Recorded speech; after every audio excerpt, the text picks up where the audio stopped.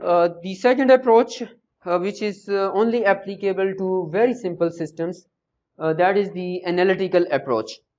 Uh, we have already talked about it very briefly in one of examples. Let's do it again over here. if you basically phase portrait is nothing but a relation between x1 and x2, plot of a relation between x1 and x2.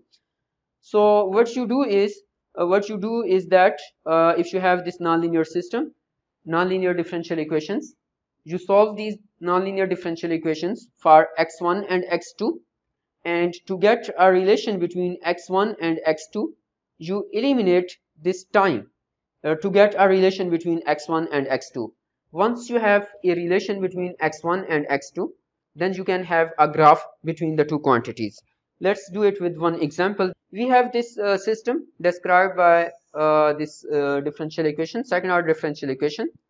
Uh, first step is to get a relation between uh, to find the solution x1 and x2 for that purpose here we have linear differential equation. We can write the characteristic equation uh, and corresponding to characteristic equation. We have done it in one of our previous lectures. We have found x of t and x dot of t. Once we have uh, x of t and x dot of t uh, then uh, how to eliminate this time? Take the square of first equation square of the second equation and then uh, add the two to get a relation between the two. So x square plus x dot square is x naught square which is uh, in the phase plane it is uh, equation of a circle uh, with radius equal to x naught initial condition x naught. So this is first uh, uh, analytical approach. Solve this uh, differential equation uh, for x1 and x2 and somehow eliminate this t to get a relation between x1 and x2 once you have this relation you can plot that particular equation. Uh, however you will observe that this approach becomes much more difficult if you have uh, uh, some nonlinear differential equation. Here it was a simple linear differential equation. So uh, we were uh, relatively more convenient to solve it. But uh, if you have a nonlinear differential equation uh, then it will become difficult. The second analytical approach is this one from this equation uh, in this equation we observe that differentials dx2 by dx1 what is that? dx2 by dx1 is equal to f2 divided by f1 that is obvious from these equations. If you write it in the form of differentials divide the second equation by the first equation you get this relation.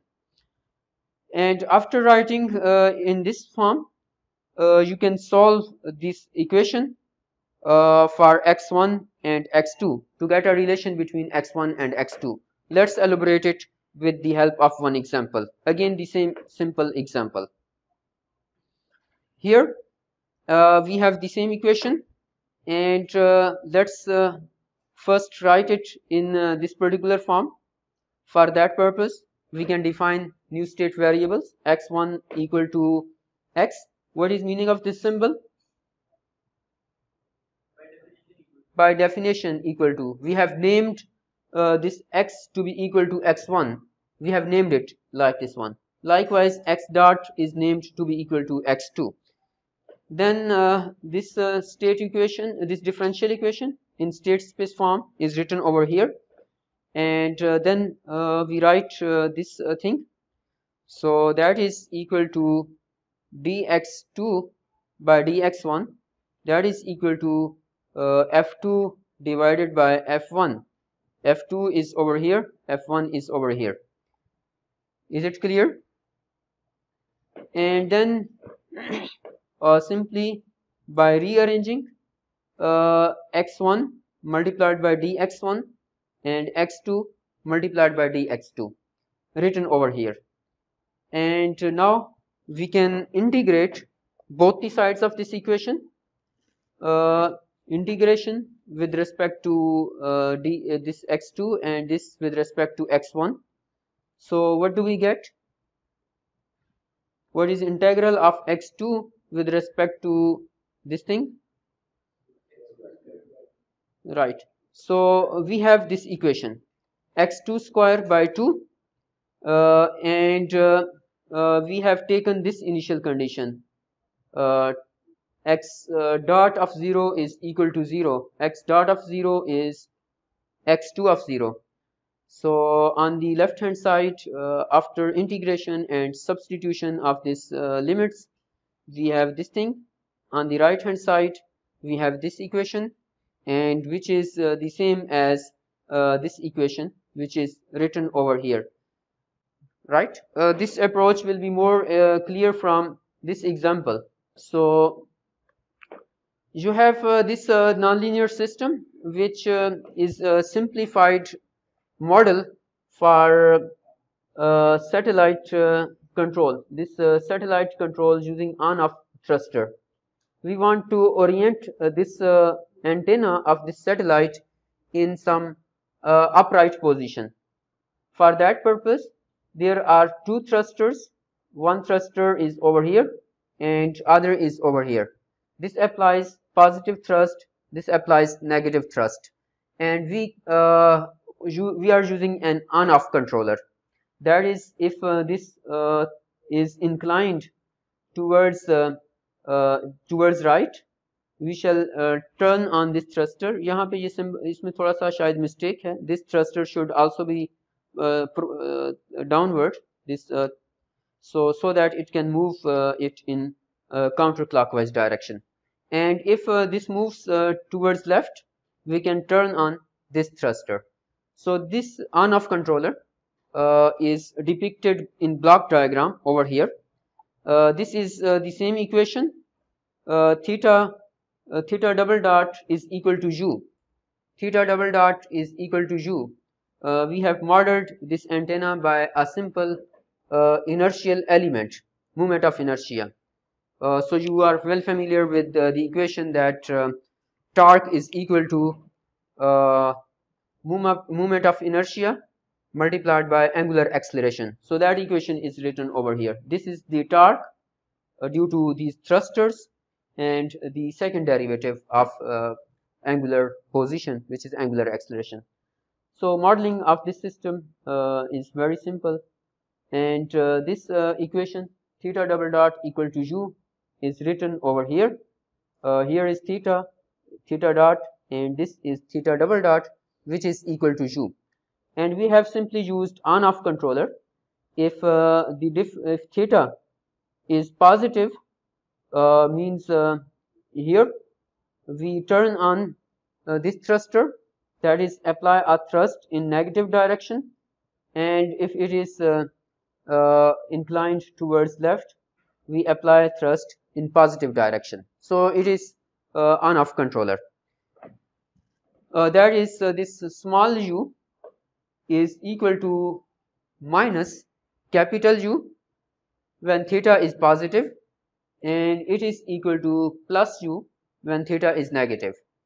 So this system is described by these two equations. And we want to obtain phase portraits for this particular system using analytical approach. Uh, this equation by defining the state variables in this way is written into this form. And we have now two cases uh, when theta greater than 0 and when theta is less than 0 corresponding to theta greater than 0 these uh, state equations become equal to this one. And uh, then uh, writing uh, in uh, that particular form dx2 by dx1 we have uh, this thing f2 divided by f1 as we discussed in previous slide. And now rearranging the things multiplying this dx1 to the right of this equation and this to the left. And then integrating both the sides uh, we have uh, these equations. What is the integral of this one? X2 x2 square by 2 uh, and then uh, substitution of this uh, initial condition.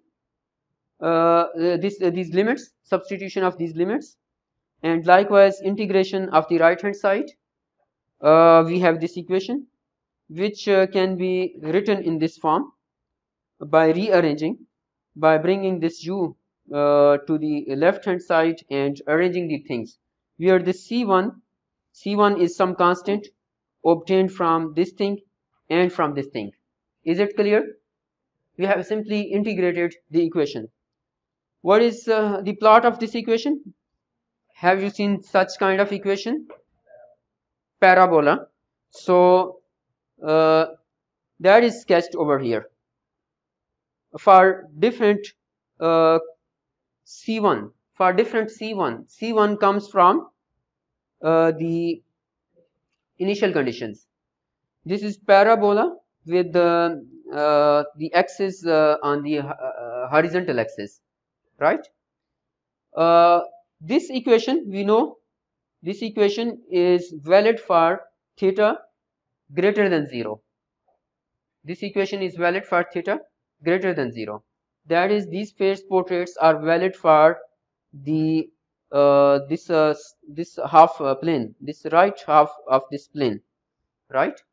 Uh, and for the left half of s plane when theta is less than 0 this this is theta less than 0 we have this equation. And now performing similar steps you have this equation which is again the equation of a parabola. But now with the this graph right? This is valid for theta greater than 0 this is valid for theta less than 0 combining the two we have this phase portrait. So what kind of behavior you will ex uh, you will expect from this system? Oscillations. It will keep on oscillating about uh, its uh, upright position. So we shall continue this discussion in the next lecture